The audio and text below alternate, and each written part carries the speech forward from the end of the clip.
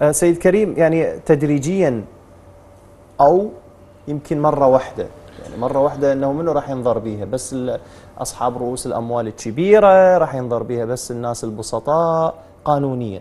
اي أي آه، حركة مفاجئة بالسوق بالعملة أكيد هناك من يكون ضحية لهذا يعني اليوم التاجر هو إذا جايب بضاعة من الخارج أو عنده أموال ممدحة أو عنده يعني مصرف كذا مليون دولار من ال... لما ينخفض أكيد راح يتعرض إلى خسارة.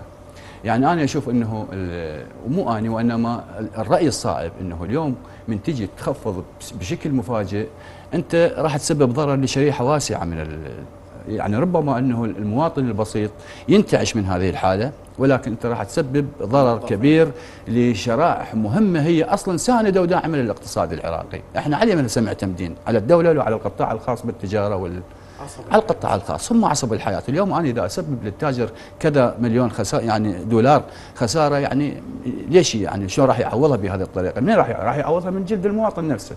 راح يرفع سعر أكو تعويضات في حال إنه إذا تمت هاي القضية؟ إحنا ليش نرجع؟ أنا عندي دقيقة واحدة أعتقد. يعني إحنا مو صاحب ماني أنسم أتكلم مو صاحب اختصاص مو رجل اقتصادي. ولكن ليش بهالطريقة هاي؟ يعني يعني ممكن إنه النزول تدريجيا. بعدين إحنا عندنا فائض عمله ما شاء الله خير من الله يعني تقريبا يعني بال 200 دولار ترى كنا الكاظم أعتقد وحتى فائض احتياطي اللي هو داعم 135 طن ذهب يعني نقدر نشتغل بهذه الطريقة. يعني هاي المسألة يعني حقيقة يتصرف بها رجل اقتصادي أبو البنك المركزي يعرف شلون.